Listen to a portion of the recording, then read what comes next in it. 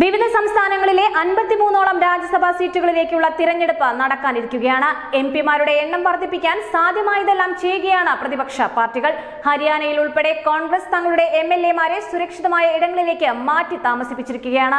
നിയമസഭാ തിരഞ്ഞെടുപ്പ് ഫലം പുറത്തുവരുന്നതിന് പിന്നാലെ പല സംസ്ഥാനങ്ങളിലും കോൺഗ്രസ് ഇത്തരത്തിൽ എം എൽ എമാരെ മാറ്റിപ്പാർപ്പിച്ചിട്ടുണ്ടെങ്കിലും രാജ്യസഭാ തിരഞ്ഞെടുപ്പിലും ഇതേ അടവ് പയറ്റേണ്ടി വരുമെന്ന് രാഷ്ട്രീയ നിരീക്ഷകർ പോലും പ്രതീക്ഷിച്ചിരുന്നില്ല.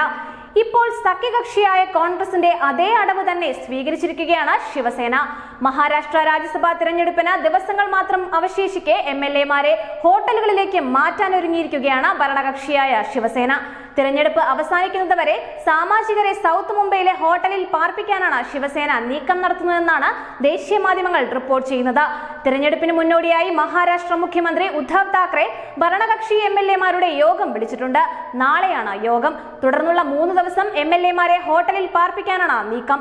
ശിവസേനയ്ക്ക് പിന്നാലെ കോൺഗ്രസും എൻ സി പിയും എം എൽ എമാരെ ഹോട്ടലുകളിലേക്ക് മാറ്റാൻ ശ്രമിക്കുന്നുണ്ടെന്നാണ് വിവരം.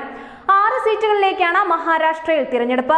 ബി ജെ പിയുടെ പീയൂഷ് ഗോയൽ വിനയ് സഹസ്രബുദ്ധെ കോൺഗ്രസിന്റെ Vikas Mahatme P Chidambaram N C പിയുടെ പ്രഫുൽ പട്ടേൽ ശിവസേനയുടെ സഞ്ജയ് റാവത്ത് എന്നിവരുടെ കാലാവധി അവസാനിക്കുന്ന സാഹചര്യത്തിലാണ് തിരഞ്ഞെടുപ്പ്.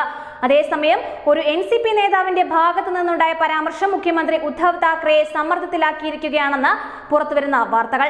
അടുത്ത മുഖ്യമന്ത്രി ശരത് പവാർ നയിക്കുന്ന എൻ സി പിയുടെ നേതാവായിരിക്കുമെന്ന് മുതിർന്ന എൻ സി പി നേതാവും മഹാരാഷ്ട്ര മന്ത്രിയുമായ ധനഞ്ജയ് മുണ്ട ഒരു പരിപാടിക്കിടെയാണ് അഭിപ്രായപ്പെട്ടത്. ഇത്തരമൊരു പരാമർശം വന്നതോടെ രാജ്യസഭാ തിരഞ്ഞെടുപ്പിൽ N C P M L എമാർ കാലുവരുമോ എന്ന ഭയം ഉദ്ധവിനുണ്ട്. ന്യൂസ് ഡെസ്ക് ന്യൂസിന്റെ മലയാളം.